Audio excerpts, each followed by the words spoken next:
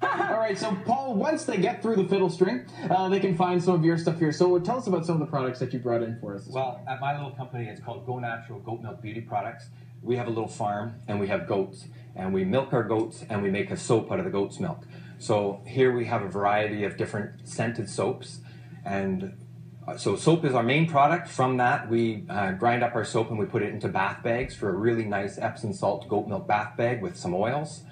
And then I have honeybees on my farm, and I take the wax off the hive, and I make 40 flavors of lip balm for the best lip balm ever. So what are some of the flavors that you have here? I see they are all labeled best lip balm ever, but if Yeah. you had to uh, name a couple of different flavors or scents that we're working with, Well, the, the top flavors are uh, cherry, coconut, watermelon, pina colada. Um, we have uh, wintergreen, spearmint, um, peppermint.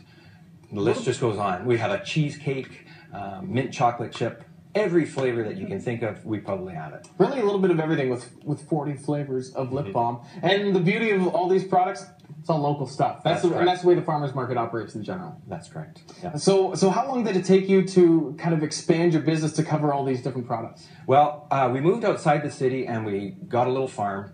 And we started with chickens and then we had goats. And the goats had so much milk that we thought, well, let's not waste it. What can we do with it? We couldn't sell it because of the way in which um, it's a food product. I'd need a bigger kitchen to make it all work, and there's regulations. But uh, putting it into soap uh, was a simple solution.